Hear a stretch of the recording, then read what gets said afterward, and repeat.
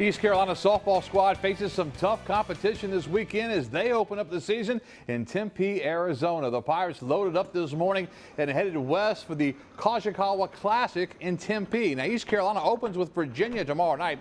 East Carolina also takes on Seattle, Cal, Riverside, Nevada, and nationally ranked Arizona State in the Classic. Courtney Oliver is set to make her debut as the East Carolina coach coming up tomorrow night.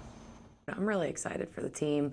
Um, me and my staff were just talking. Another week of practice wouldn't do us any good. Just getting out there and getting the first game jitters out and getting some games under our belt is going to be the best thing for us. I think, you know, I told the team yesterday just be ourselves, just be who we are, and we're going to be fine.